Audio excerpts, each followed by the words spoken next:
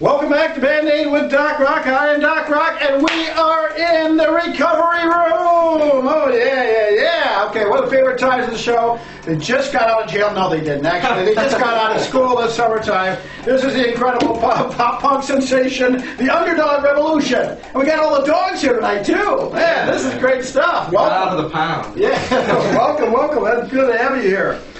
All right, hey, we're listening to, uh, to a couple of tunes uh, of yours just a moment ago. What were we listening to? Um, we were listening to two of the tracks off of our four-track demo. They were "I Will Find a Way" or "I'll Find a Way" and "Now I See." Okay, cool. The uh, um, good stuff. We got to find out who's in this band. I mean, there's gossip flying all over this town, but we were there on Nail It Down tonight. Last time I saw you guys, you were actually playing live at a, gi- gigantic affair out in Aurora. Couldn't even get near the stage. The mosh pit was filled. The fans were everywhere. The parents were face down. Well, they always are. But the thing it is, it was a really exciting time. But the fans were really digging it. So everybody wants to know who you guys are in the back. Sir, you are. I am Kyle Grandillo. I am vocals and rhythm guitar. Okay, and Brian Kalinowski, bass. Bass. All right. Yeah. Austin Bianco, lead guitar and vocals. Okay. And I'm Harrison Bay Miller, I play drums. I would hope so. Because in the process of elimination, you know, there's got to be a drummer in the house somewhere. That's great. All right, all right. Everybody wants to know, how did you pick the name of this band? All the names that are out there, the Underdog Revolution. Was there, you know, is there any kind of a social message along with that? you know? Oh, you have you haven't a clue. Oh, well, that's what I'm asking. There's a Story my life. There's a long, intricate story behind this, but the short version is a good musician friend of mine, Cole Messner, Don't. Yes. Right. um, was less than pleased with the public school district that we attend on a daily surprise. basis. Don't say the name of it. Okay. And he started, him and a friend of his started this sort of group which they called the Underdog Revolution, and they had a symbol that was a U connected to an R like that. Okay. But the, the, the hidden message was that the D was actually considered the top of the R. Okay. So, and that's why it's hyphenated so that that D still counts. Okay. So it comes from Cole Messner's sort of anti-establishment high school group that he developed in his junior year. I see. So, and of course, the, the D being up there, you know, it's probably his grade point average or something. But, uh, but you know, I, I can just lucky. Okay, you know, it- it's pretty, a pretty interesting name, you know, and I think it's kind of fun, you know. And those of us will remember the, you know, the, the 60, there was a '60s cartoon called Underdog, right? Right? Everybody remembers that? Okay. And it, it was called Underdog. And it was kind of a soapy little character, you know, and he was like a superhero and all kind of stuff, fun stuff. So that's why I just, you know, I thought about that. But uh, interesting. The uh, I'm curious. You say that you're, you know, you're, you're, you're pop punk, or punk pop, or pop punk. Yeah. How would you guys define that genre? Everybody uses the term, but I want. What's the, the the alternative guys here at the Underdog Revolution? How would they define pop punk? Hmm. It's fast, but it's catchy too. Yeah, Yeah, it's, I mean, it's sort of it's sort of a mixture of melodic but still the energy of punk music but without all the crap. yeah, Okay. crap. Yeah. yeah. you know, so when, when you know, because you guys probably buy a lot of music anyway, you know, consumers of music and stuff. And, and let, let me just drill a little further then. What do you consider to be the crap in music?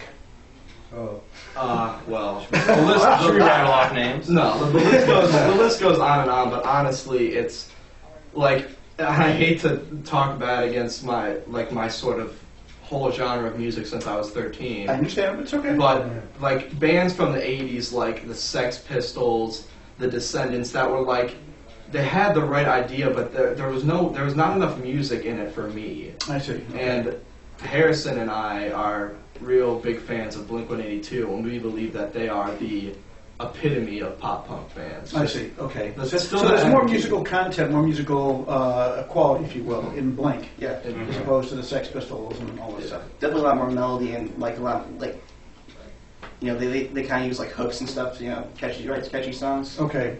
Well, it's got, it's got to be really tough, especially in the Grandillo household. And the legendary Grandillo family, your father, obviously, you know, your brother, and everybody's so musical within your family. I need to be around your dinner table. It's got to be a shootout or something, you know, with everybody talking about artists.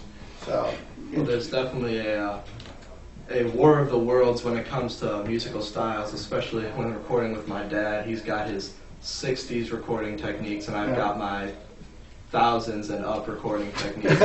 they, they tend to um, Clash. clash. But did you? But but but Kyle, did you ever think about? Hey, you know what, Dad? The old analog days. Did you ever try any analog? Any analog recording of this stuff? You may be surprised. A lot of bands are going back to analog because of uh, you know because of all the things that it, that it offers. The Yeah. depth of the sound, all of that. You know, and a sense of uh, you know a sense of uh, uh, you know the, what would I say the the the tracks take in such a you know wider range, and there's so much more warmth to an Yeah. analog record. That's why bands are going back that way. So, okay, just stay, keep the peace at home. That's all. Yeah. You'll stay in the will, and you know college will get paid for it. It's okay. Hey, you guys, uh, didn't you play the uh, the rock offs this year?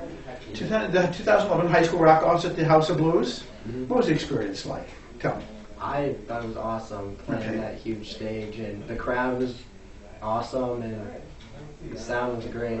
I had a good time. Were you really nervous? I mean, this is the House of Blues. Yeah, big was. crowd. The parents are in the back. Okay, your whole life is flashing in front of you. All your friends are there. Okay. I was excited more than nervous, but I was nervous. I was incredibly nervous. Because this was before, like when the band was first developing. We didn't even have Harrison with us. We had another drummer who was. I don't Less want. I don't want to Okay, insult him. brand but new. He was, Whatever. he was half the drummer. but um, so I was worrying about that, and before I knew that Austin could sing, I was carrying the whole load, and obviously as a teenager, my voice tends to slip and crack a lot. So, Okay, yeah. and I knew that in the first song, I had a lot of high notes that were right on the brink of my vocal limit. So, I was scared about that, and that's what really gave me the anxiety before that. But I feel like we still put on the best show possible for at the time. If we could go back and do it now with Harrison and with all the new songs we have, I'm sure we would have placed. Oh yeah, absolutely. Yeah. absolutely. Well, you know, it's funny when you get nervous, your vocal pitch actually goes up. I'm living proof. Okay, but uh, but it actually does go up. You know, and there's uh, there's you know if you try to force it on stage. Short of, short of a bike accident and tight shorts, you're not going to raise your voice, okay? So your pitch is where it's going to be, and that's going to be it. Ha- Harrison, mounting those drums of the House of Blues, being the king, Mhm. sitting it back, all the TV cameras flying, all the fan cameras flying, the whole House of Blues in front of you. Wasn't that an incredible feeling? You know, and you're driving this band right from the back. Yeah, I mean, actually, I didn't. I didn't play with this band during the House of Blues. I, Oh. I was in a different band at the time. Okay, it's and we were feeling, though. Yeah, we were in the rock off too, and it was incredible. But I tried to stay, you know, focused. I wasn't nervous really because you know I'm in the back, so it's, it's better than you know having to be Kyle, you know, up front singing and hoping to get by a guitar. Sure. Well, you're right behind him. You throw a stick at him. Anyway. Yeah, Okay, I exactly. understand. The um, uh, with the rock off experience, what did you learn from the rock off experience? Well, I was. It was my second year in it, and I'll see an old hand at it. Okay. Yeah. yeah, just- Woodstock's next. I know. Hitchell, little Bonnaroo. He's going to do the scene. You know. But um, I mean, I just I love doing it. It's a great experience being with all the bands and stuff, and I actually got a high school internship out of it. With, Hey, did you? Yeah, yeah, with Frank Imhoff at Live Nation. Hey, congratulations, good Yeah. man, good man. And he spent a lot of years at Live Nation, and he's Mhm. done a lot of you know a lot Yeah, of great shows there. What did, did you learn anything more about yourself as a performer? I mean, when you look back at one of the hardest things you do is when you look back at those videos, you know, and look back Yeah. at, and even the folks who are sitting there late night, you know, Time Warner watching the finals, you know, and I'm just going.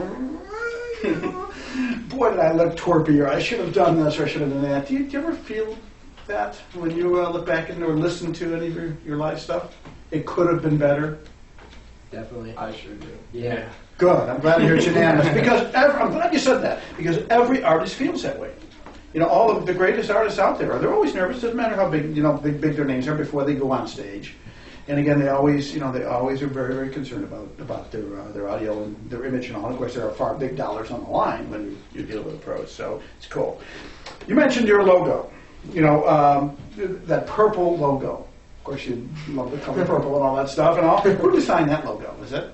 Um, That's not a Cole Messner masterpiece. Well, That's a revision. that, that that image itself was not the original design, which often appeared on the walls of the bathrooms of our school. floor to ceiling. Oh, really? really? Uh, that I actually did that on Photoshop. I what I had to do was make two huge letters and just sort of put them together because there was no way to get a text that would tie them together like that. I mean, I can draw it like Okay. that, but I I just did it on Photoshop, and you know, if you click three buttons, you got a cool effect, or if you don't like it, then you go back, and then it's just sort of a couple cases of trial and error, and So you got what you wanted, and then you brought it to the band, and the whole band have to agree on the logo? I mean, do you all, do you all work in a sort of a democratic environment? We just thought it looked cool. Yeah. Okay, that's all. So there's got to be, a cool- there's, but there's a coolness factor that has to be, you know, accepted by the, uh, Definitely. You know, by the band. No, it's a very, it's a really cool logo. I also, some of the video I watched of you, uh, oh, the, the music video to "I'll Find a Way." Oh yeah. Watched it a couple of times. Okay, and where was that shot?